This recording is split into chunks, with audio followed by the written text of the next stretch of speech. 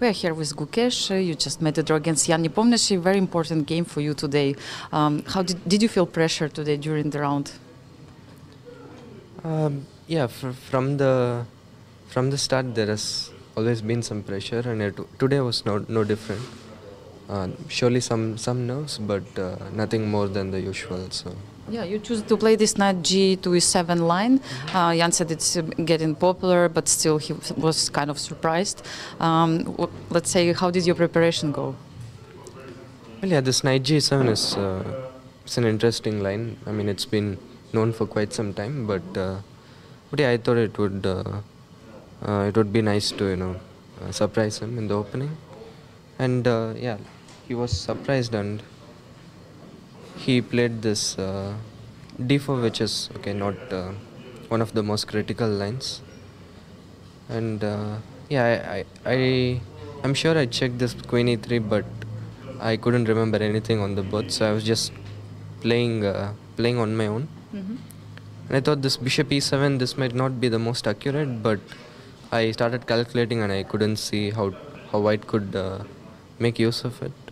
And basically, what I calculated happened happened in the game. So b5, knight a5, and yeah, maybe he has like one more to create something, but uh, I couldn't see how. I mean, if I get taken bishop b7, it's uh, it's just equal. So he played queen g3, bishop d6. I mean, knight b3. Yeah, a b3 was also possible, but I thought. hmm But I thought, okay, bishop d6 is quite a nice move.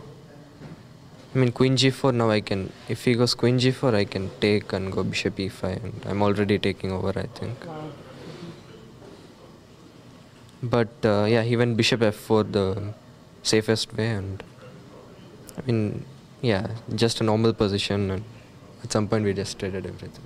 Yeah, he said that he probably missed some chances to press more by playing like maybe before like bishop d2 uh, in order to stop your idea with b5 and uh, I will show you somewhere he- here maybe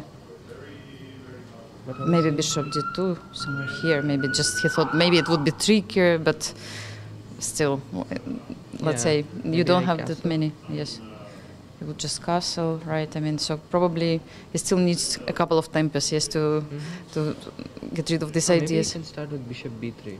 yes and maybe here yes bishop Ah, b3 so I don't get this tempo. Eh? Yeah Ah, this might have been Mhm. possible. but it's hard to say now let's say after i mean he saw it after the game Yeah. um, what do you think about the tournament situation right now i mean all, last couple of rounds like how, how did you feel and what do, what do you think about the whole what's happening in the in the playing venue Uh, yeah, I feel pretty good. I feel I'm in good shape and I'm in good spirits. So,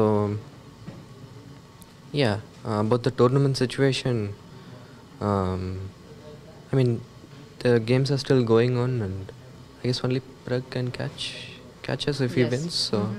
yeah, let's see how that goes. But anyways, um, I think uh, before the last four rounds, I I put myself in a pretty good position. So yeah, it depends on uh, how I how I play in the next few games, and hopefully it'll be it'll be good. Yeah, this of course is very critical and important. The last rounds, um, Ian just told me that he cut all the connection with social media. He doesn't follow anything. What about you? Are you following? Are you posting something? Uh, no, in general I don't use much, and during the tournament not at all. So yeah, I haven't really opened anything from the start of the event. So, So but uh, yeah, my team is taking care of the other things. So I guess it's good. yeah, so you try to focus on the tournament and only on the tournament without distractions. Yeah, uh, as much as possible. For sure. Thank you so much, Gukesh. All the best of luck for you in the next rounds. Thank you.